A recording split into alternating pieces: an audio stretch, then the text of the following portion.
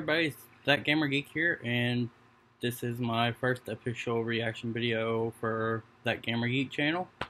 Um, so I've I never actually got around to reading these books, but the Maze Runner I've seen the first and second one, and I actually enjoyed them. Um, I need I have the books, but I haven't gotten around to reading them yet. Uh, I know this one was supposed to be out late last year, but Dylan O'Brien had a got hit by a car or something like that, I think.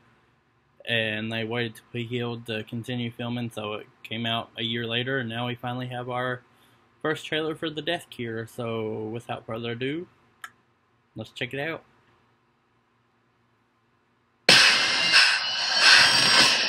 What is this place?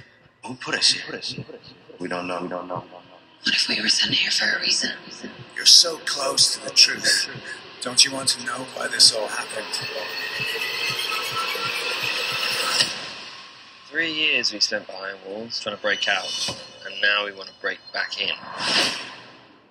Uh, I get shotgun. Kind of pass through your side You there. can't save everyone, Thomas.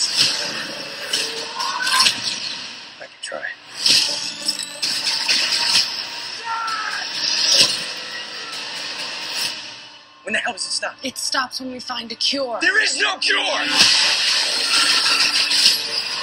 Hang on! Thomas, you can save your friends, or you can save us all.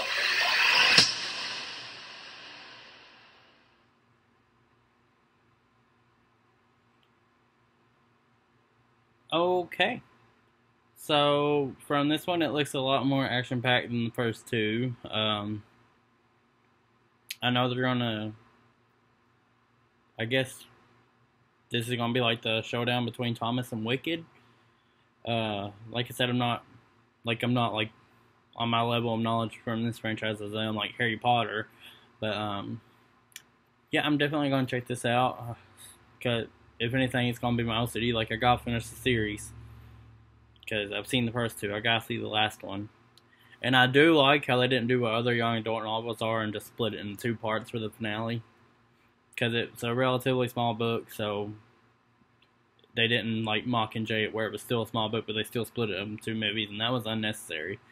Um, but yeah, I'm definitely gonna watch this. Um, thanks for watching this reaction, and please let me know what you'd like to see me react to next if there's anything. Um, subscribe if you haven't already, and I will catch you on the next video. Bye.